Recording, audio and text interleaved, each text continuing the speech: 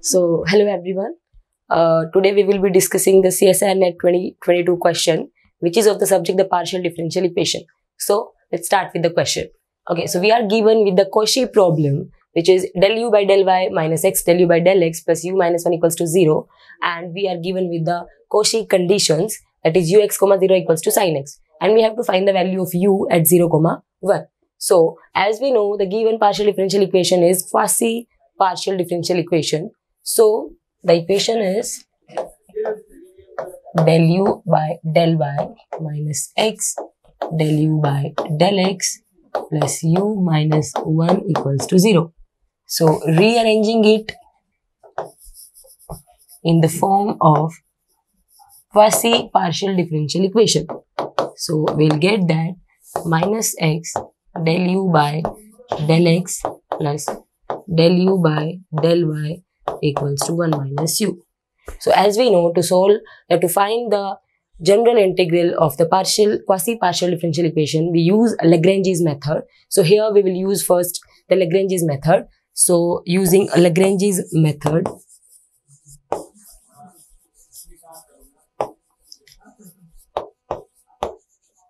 Lagrange's method.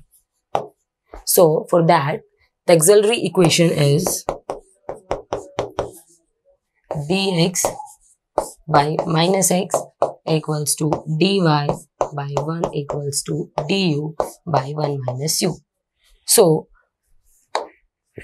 from the first two fractions, taking first and second fraction,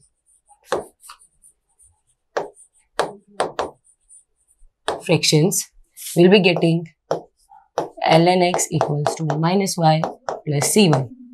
That implies c1 equals to ln x plus y. And similarly, taking first and third fraction,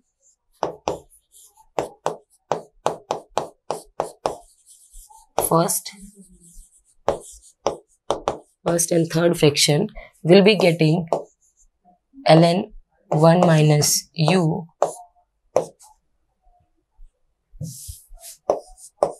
ln x equals to ln 1 minus u plus c2.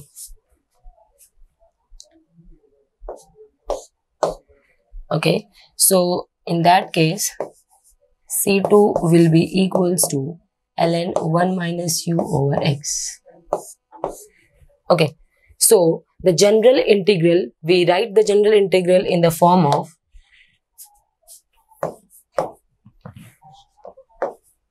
phi of c1 equals to c2 or phi of c1 comma c2 equals to 0.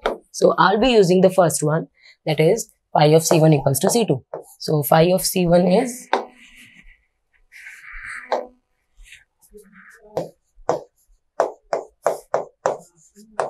equals to C2 is ln 1 minus u by x. Okay, so we have the we had the we have the general integral of the quasi partial differential equation, and now we'll use the Cauchy conditions. So the Cauchy conditions was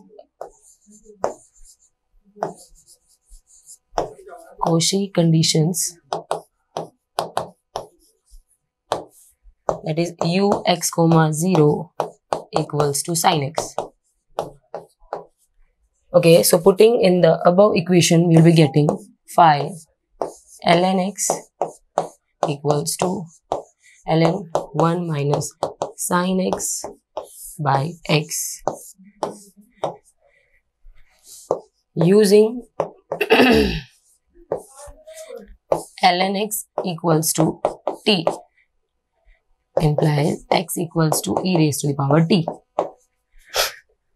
So, my equation will be converting into phi of t equals to ln 1 minus sine e raised to the power t over e raised to the power t.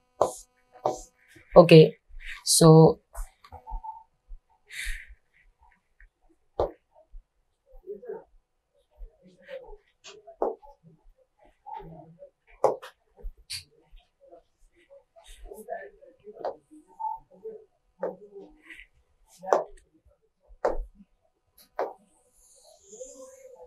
So I'll be having phi of ln x plus y equals to ln 1 minus sine e raised to the power ln x plus y over e raised to the power ln x plus y. And that is equals to ln 1 minus u over x. Okay. So we had ln 1 minus sine x e raised to the power y upon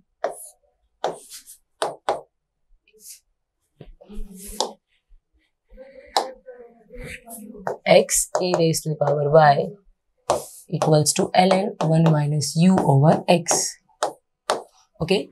So, by calculating it, sin x e raised to the power y over e raised to the power y into x equals to 1 minus u over x. So by cancelling it, we'll be getting 1 minus sine x e raised to the power y over e raised to the power y equals to 1 minus u. So we'll be finding out the u and that will be equals to u1 minus e raised to the power minus y into 1 minus sine x e raised to the power y. Okay, so we have the u now.